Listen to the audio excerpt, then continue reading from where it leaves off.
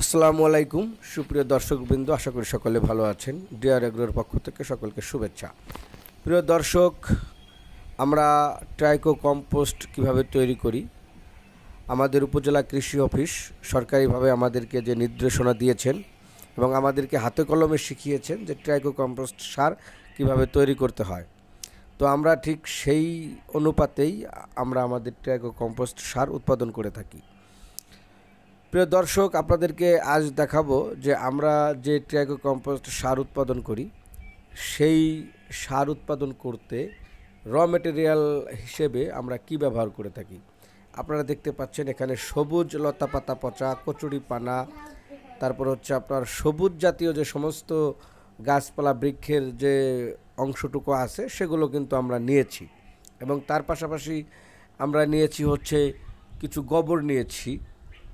জৈব সার তৈরি করতে গোবর একটা অপরিসীম বস্তু। আপনারা দেখুন যে গোবর ছাড়া জৈব সার কখনোই স্বয়ংসম্পন্ন হয় না।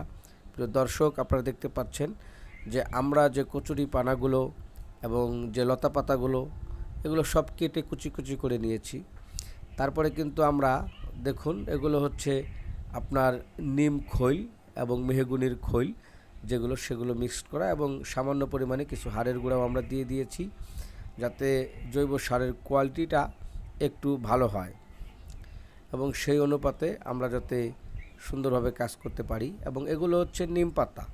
আমরা কিছু নিম পাতাও দিয়ে দিয়েছি জৈব সারের ভিতরে। আপনারা এখন আমরা কথা বলব উপজেলা কৃষি অফিসার ইসুফ স্যারের সঙ্গে যিনি আমাদেরকে হাতে কলমে শিখিয়েছেন কীভাবে ট্যাগো কম্পোস্ট সার তৈরি করতে হয়। ট্রেনিং দিয়েছে আসসালামু আলাইকুম। বর্তমানে আমাদের বাংলাদেশে দেখা যাচ্ছে যে রাসায়নিক সার প্রচুর পরিমাণে ব্যবহার হতেছে রাসায়নিক সার ব্যবহার কমানোর জন্য আমরা বিভিন্ন ধরনের সার তৈরি করতেছি কম্পোস্ট সার, জৈব সার। তার ভিতর আমরা এখানে একটা টাইকো কম্পোস্ট সার তৈরি করতেছি এটা হলো, এখানে আছে কচুরির পানা, তারপরে হাড় নিম পাতা তারপর কিছু গোবর এবং ইউরিয়া সার, তারপর হাড়ের গুঁড়া এবং খৈল, এই এগুলো দিয়ে আমরা মোটামুটি এই সব মিক্সড করে তিনটে রিং বসাইছি, তিনটে রিংয়ের ভিতরে আমরা বোম বসা দিব।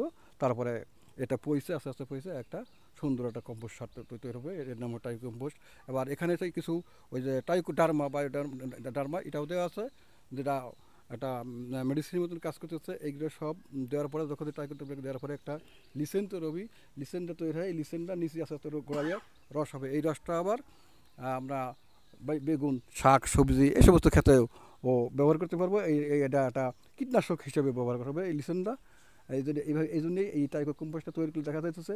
আমাদের কীটনাশকের কিছুটা, অনেকটা কাজ হইতেছে এবং সারও হইতেছে। মোটামুটি উভয় কৃষক উপকৃত উপকৃত হইতেছে এবং জৈব সারটাও তৈরি হইতেছে। সব দিকে ওদের সুবিধা হইতেছে। রাসায়নিক সারের উপর আমাদের অনেকটা চাপ কম পড়তে, হইতেছে।